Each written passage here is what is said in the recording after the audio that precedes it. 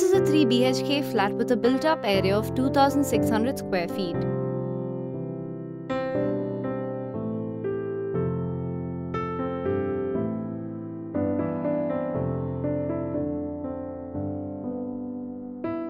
The apartment floor has vitrified tiles in the living areas, wooden laminate flooring in bedrooms, and ceramic anti-skid tiles in the bathrooms and balconies.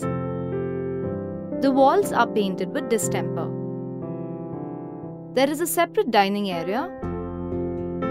There is a separate puja room. The kitchen has a granite platform with dado above it. The apartment has a separate utility and two balconies.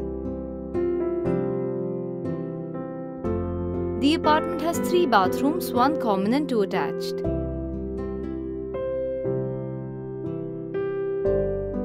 The apartment has a separate servant quarters with its own toilet.